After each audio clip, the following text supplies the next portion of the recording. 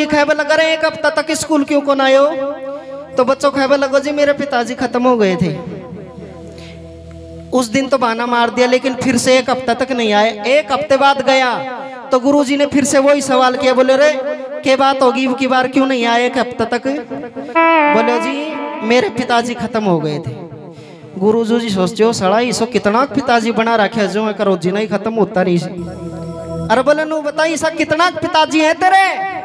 बोले, गुरुजी, मेरी तो छोड़ो। मैं तो थारा भी पाँच बता सकूँ। गुरुजी का चक्कर पड़ गो साला पाँच पाँच पिता भी होता हूँ कदे करके पिटे तो गोई लेकिन एक सुन तो लिया, नाम कौन कौन सा बताओ है?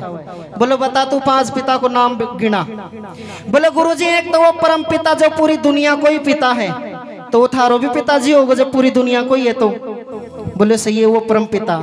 एक बोले था ना जन्म दे बाड़ो, पाल पोस और बड़ा कर दिया, मास्टर बना दिया, थारो ब्याह शादी कर दियो। बोले भाई दो होगा, अब तीसरो बता। बोले, जी था कि बींदनी भी का पिताजी थे कहीं कहबो करो। बोले, भाई, वो भी पिताजी है। बोले, गुरुजी, तीन होगा, अब चौथो बता। बोले, गुरुजी, अपने हिंदू धर्म में गाय न गौ माता की। अगर वह गौ माता है तो फिर वो सांड के होगो।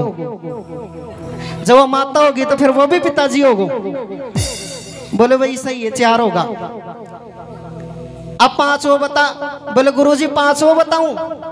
कदे कदे अया की मजबूरी फंसा इंसान में की गदा नहीं, बाप बनाना पड़े। तो कदे न कदे तो थारी भी फंसी होली।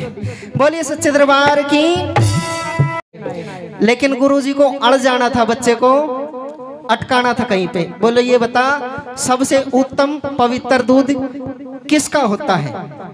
तो कोई तो बकरी को बतावे, कोई गाय को बतावे, कोई भैंस को बताओ लेकिन वो तो इंटेलिजेंट ना दिमागदार है। बोले, गुरुजी, माँ को।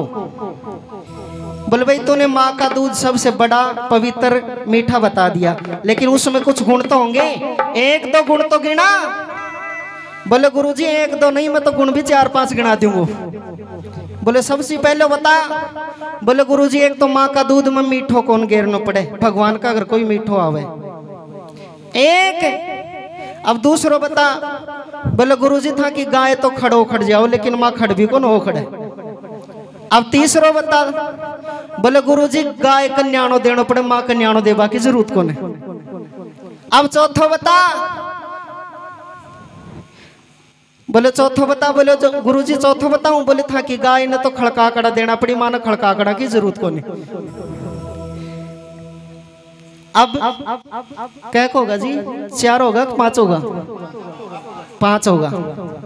चल पाँच ही बहुत है। ये में ही पास है तो, तो बोलिए सच्चे दरबार की। तो लीजिए।